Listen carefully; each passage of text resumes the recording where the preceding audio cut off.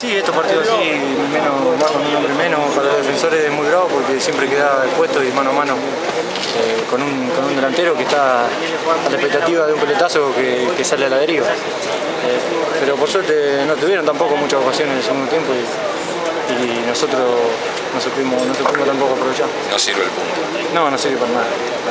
Parecía que el triunfo de Boca por ahí anímicamente lo iba a dar un empuje eh, importante, arrancaron bien, eh, tuvieron esa desconcentración en lo que, que el primer gol que fue, que fue muy rápido, lo pudieron revertir, creo que muestra una actitud diferente de Unión, puede ser.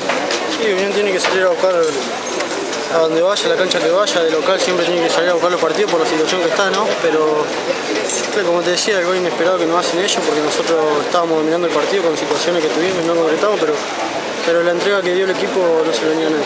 No, es, no se les da una, por ahí hay un toque de desconcentración. ¿Qué te pasa? No, no sé, un poco de todo, la verdad que, que tuvimos varias situaciones donde no pudimos concretar, y, pero bueno, creo que hicimos un gran partido. Gracias.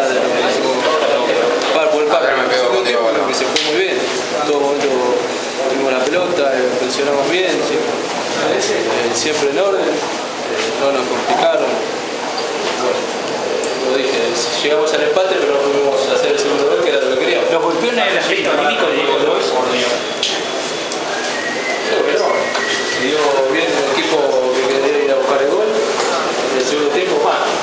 Así que creo que es un punto que no sirve para sumar, pero no era lo que queríamos. No aprovecharon el envío anímico que significó haber ganado la bombonera.